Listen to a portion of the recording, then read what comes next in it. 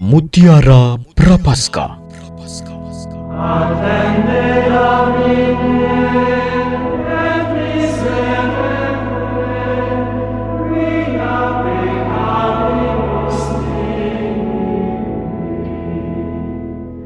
Masa Prapaskah merupakan masa istimewa untuk berdoa, bertobat, bermati raga, dan melakukan karya belas kasihan sebagai persiapan menyambut perayaan Paskah.